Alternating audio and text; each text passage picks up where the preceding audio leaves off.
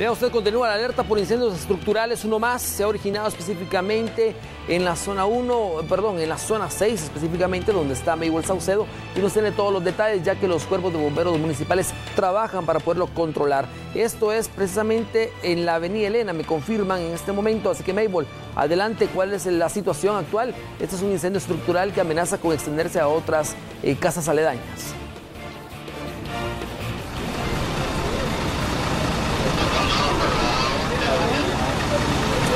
Muy buenas tardes amigos de TN Todo Noticias. Efectivamente, este incendio sucede en el tercer nivel de una eh, vivienda. En este caso es en la avenida Elena D y 16 calle de la zona 1 capitalina, a donde llegaron los bomberos municipales para sofocar las llamas. Con nosotros se encuentra el oficial Erwin Villagrán, quien nos da detalles de qué es lo que se encontraba en el tercer nivel. Vimos las llamas también en la ventana, tuvieron que quebrar eh, también para evitar que este se propagara. Sí, efectivamente, varios vecinos observan la gran cantidad de humo que sale de este tercer nivel exactamente en el numeral que indicado y pues llaman al teléfono 123 al arribo de nuestras unidades contra incendio. Efectivamente el incendio se veía que estaba declarado, de inmediato se procedió con eh, técnicas de sofocamiento, pues se logró controlar. Lastimosamente se, quemó una gran cantidad de ropa y, muebles que, se, que estaban en el interior de una habitación, la cual mide más o menos 3 por 3 metros y pues hasta el momento pues ninguna persona resultó con heridas o quemaduras. La propietaria del inmueble se acercó indicando pues que hasta el momento ignoran las, las causas y asimismo ignoran la cantidad que se pudo haber perdido en este incendio. Oficial, en este lugar, ya en el interior, en el tercer nivel, eh, ¿se localizó algún tipo de veladora o algún cable que estuviera quemado que podría haber, podría haber sido algún cortocircuito? Este, hasta el momento pues estamos todavía en lo que es... Eh, recolectando nuestro equipo que utilizamos, pues eh, posteriormente estaremos haciendo un análisis correspondiente para ver, ya que es gran cantidad de ropa que se encuentra en esta habitación, es demasiada ropa, eh, bultos y así muebles que se encuentran. Entonces todavía tendríamos que movilizar para poder dar y saber si fue un cortocircuito o alguna veladora que hayan dejado encendida. Muchas gracias, oficial. Bueno, afortunadamente ninguna persona resultó con quemaduras en este incendio estructural que se registra entonces en este tercer nivel. Ustedes ya han podido observar entonces las llamas que salían eh, a través de una de las ventanas de este lugar. Así también, eh, importante mencionar, nosotros platicamos con la señora Anabela. Ella nos indicaba de que es la propietaria de esta vivienda. Sin embargo, esta la da en alquiler y sus propietarios no se encontraban. Así que eh, nosotros vamos a presentarle lo que ella nos dijo dijo a continuación en relación a este incidente. Antes de que ella viniera, pero no sé. ¿Y no, no había nadie en el tercer nivel? No, no había nadie. La verdad que no había nadie. Estaba sola la casa. ¿Cómo se dieron cuenta ustedes de que comenzaron? Porque a mí me vinieron a dejar un tambo de gas y el muchacho del gas me dijo que habían llamas ahí. Entonces yo llamé a los bomberos. Pues, o sea, en el momento. Yo vivo a la vecindad. O sea que sí. Sí. Más o menos, ¿en cuánto estima usted las pérdidas que hubo? No, no les sabría decir porque como yo no sé qué es lo que ella tenía ahí. Pero digamos que la estructura que es. La estructura no sé porque tendría que ser un ingeniero el que haga la evaluación. Pues, pero afortunadamente no hay ninguna... No, pérdidas este, humanas no hay. Bueno, materiales, pues eso sí, ¿verdad? Pero eso después miraremos qué, qué es lo que se hace, pero lo importante es que no hubo ninguna pérdida humana. Y no había nadie ahí. Nadie. Tal vez algún cortocircuito, ¿verdad?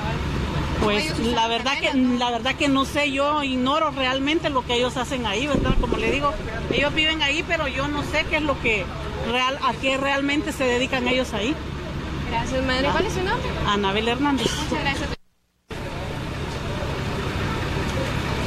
Es importante que les mencionemos entonces que a esta hora de la tarde, Axel y amigos televidentes, eh, las llamas ya han sido controladas desde este tercer nivel, así también agentes de la Policía Nacional Civil se encuentran en apreso también en este lugar. Y también los vecinos pues bastante eh, consternados y nerviosos por esta situación que sucedió hace algunos minutos acá y que afortunadamente gracias a la intervención de los bomberos eh, se pudo controlar. Y ante ello pues también es importante que les mencionemos que acá sobre la 16 calle se encuentran las unidades contra incendio y también ambulancias, tanto de los bomberos voluntarios como de bomberos municipales. Y para ello, pues vamos a pedirle, Cristian, que podamos caminar para este, este lugar que exactamente está en la 16 calle. Acá entonces se encuentran todos los vehículos contra incendio. Ustedes pueden observarlos y también los bomberos voluntarios también apoyaron en el sofocamiento de este incendio y también los agentes de la Policía Municipal de Tránsito tienen eh, cerrado el paso por este sector para evitar eh, algún incidente mayor en este lugar. Sin embargo, se espera que en los próximos minutos eh, vaya concluyendo esa labor, ya que afortunadamente el siniestro, este, este, incendio en el tercer nivel ya fue controlado por los bomberos y eh, se espera entonces que se empiecen a movilizar ellos de este sector, únicamente sean ahora en mecanismo de precaución, de prevención, en relación a que también están haciendo trabajo de descombramiento, ya que aún no se establece qué fue lo que sucedió acá en este lugar y que produjo el incendio. Como ustedes escucharon entonces y como también pudieron observar en las imágenes del interior, se localiza entonces una gran cantidad de ropa, muebles y todo esto es un producto bastante es combustible, es decir, en este caso es bastante eh, para que genere llamas y ante ello pues esto fue lo que logró generar esta gran cantidad de fuego en este sector. Eh, se estima aproximadamente que por la cantidad de ropa y de muebles que se quemaron, esto está establecido en un aproximado de 10 mil quetzales según ha sido indicado por los socorristas que llegaron hacia este lugar. Así que esta es la situación que se vive acá. Afortunadamente no hay eh, personas con quemaduras. Nosotros pudimos observar cuando en el momento los bomberos eh, retiran a las personas que estaban en el interior y únicamente ellos ingresan para poder trabajar en esta labor de sofocamiento de las llamas. Ante ello, pues este es el panorama que queda luego del incendio que se suscitó acá en la avenida Elena D y 16 calles de la zona 1 capitalina. En cámara, Cristian García, nosotros retornamos contigo, Axel, y amigos televidentes al estudio principal. Maybol, hay una consulta muy importante. Eh, se viene registrando ya una cantidad de incendios estructurales en la zona 1, en el centro histórico. ¿Habrá alguna eh, pues, eh, respuesta por parte de los socorristas en relación a que luego cuando remueven los escombros se dan cuenta que las conexiones eléctricas en la mayor parte de las casas del centro de la ciudad son bastante anticuadas? ¿No será eso el problema que esté ocasionando esta estadística en crecimiento?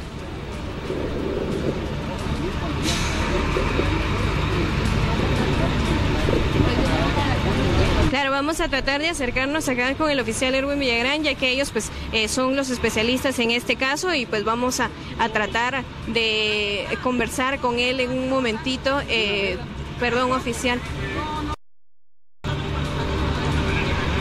Vamos a tratar acá, lo que pasa es que el detalle es de que las personas eh, están acá con, crisis nerviosa de alguna manera y están expresando lo que acontece acá, pero vamos a hablar entonces con el oficial Josvin Borrayo. Oficial, se han eh, visto varios incendios acá en el centro histórico, en la zona 1 capitalina. ¿Qué medidas de prevención se tendría que ver para las personas? En este caso pueden ser las instalaciones, podrían ser que estén muy deterioradas o cuál es la razón que podría ser que genere este tipo de incendios. Regularmente los incendios que se han suscitado en las viviendas en el centro histórico, muchas veces estamos hablando de las cometidas de los alambres eléctricos y realmente muchas veces las personas no se encuentran en su habitación. Se le dificulta al cuerpo de socorro de bomberos municipales ingresar cuando empiezan las llamas en las habitaciones porque realmente hablamos que puede ser este, un cortocircuito o una vela, muchas veces no tienen electricidad y dejan una vela en la habitación. Por eso es que eh, se producen los en estas épocas. En este caso oficial, ¿se ha dado en algún momento algún hecho en donde, por ejemplo, las personas salen de sus viviendas y tienen, algunos se acostumbran a tener imágenes eh, de santos y les dejan veladoras? Eh, ¿Ha sucedido esto últimamente? Así es, bomberos municipales han encontrado varios cuadros e imágenes de santos con las candelas y a veces salen ellos, digamos, a hacer sus compras o a trabajar y tal vez se les olvida apagar las velas. Hacemos una reflexión a las personas que tengan estas imágenes, que procuren apagarlas, hagan alguna actividad que tengan fuera del hogar para no provocar los incendios que se están dando casi diariamente. Muchas gracias, oficial Josvin Borrayo. Bueno, esto es en relación a lo que tú nos eh, comentas y también nos consultas, Axel, en relación a estos incendios que se han generado acá en el centro histórico, además de en otros lugares que también se han dado, pero entonces se, prevé, se establece entonces de que podría ser eh, alguna mala instalación eléctrica o alguna deteriorada instalación eléctrica o bien esas situaciones con las veladoras o velas que están en cada una de las viviendas, por lo cual ya los socorristas entonces hacen el llamado para evitar este tipo de percances. Gracias, eh, Mebol Saucedo. Esta es una situación que se logró controlar afortunadamente por la buena acción de los socorristas, siempre preparados, por supuesto, y también elementos suficientes con todo el equipo necesario para poder pues, accionar inmediatamente al momento de que se origine un incendio estructural como este. Hay que recordar que bien dice el oficial Borrayo, hay que mantener las veladoras apagadas cuando no se está en casa y cuando se está en casa mantener mucha observación en ellas revisar el sistema eh, eléctrico dentro de las viviendas, ya que muchas de ellas cuentan con un sistema ya muy anticuado, lo cual tendrían que revisarse por la misma eh, situación de deterioro de los cables. Y esto puede provocar en un momento un sobrecalentamiento al momento de estar conectando eh, aparatos no de 120, sino que se estén conectando de 240 cuando el lugar puede ser de menos pues, amperaje, entonces eso sí hay que verlo muy bien. Esto puede provocar un incendio y el cual se pueda extender rápidamente hacia otras habitaciones. Y recordemos que estas viviendas en la zona 1, en el centro histórico, pues algunas mantienen eh, por el mismo, la misma situación de patrimonio cultural eh, estructuras eh, antiguas y lo cual pues genera en determinado momento que partes de madera que están dentro de las instalaciones también rápidamente pues prendan en llamas. Así que afortunadamente se logra controlar pero lamentablemente para los propietarios 10.000 quetzales es aproximadamente lo que se cuantifica en pérdidas. Esto puede aumentar considerablemente después de la remoción de escombros, que es la última parte que están haciendo los socorristas en el lugar. Así que usted, mucho cuidado y sobre todo, llamemos a los socorristas en cualquier momento determinado usted vea algo similar. Es momento de la pausa. Volvemos con esto y más.